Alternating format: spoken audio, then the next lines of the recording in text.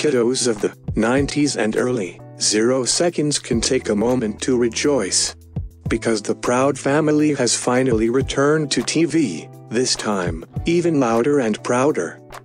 And essentially restored our childhood in the process.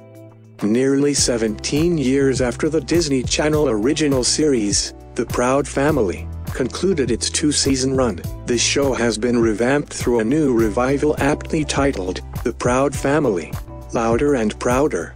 Premiering today on Disney+. Plus. The series will follow a now 16-year-old Penny as she and her family navigate a new slew of obstacles relating to modern life and the quirky challenges of being a teenager. The revival sees original cast members like Kyla Pratt, Tommy Davidson, Paula Jai Parker, Cedric the Entertainer, and more return to voice their beloved characters, along with a handful of other stars set to take on new, recurring roles, including Keke Palmer, Billy Porter, Zachary Quinto, A. Johnson, and many more. Regardless of whether you're loyal to the Disney Channel original or you're excited to see a new generation fall in love with the Proud Family, here's everything you need to know about how, when and where to watch the Proud Family, louder and prouder. When does the Proud Family, louder and prouder come out?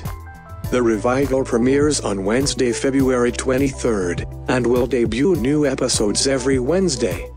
Where to watch The Proud Family, Louder and Prouder, much like the OG series, The Proud Family, Louder and Prouder is now available to stream on Disney+. Plus.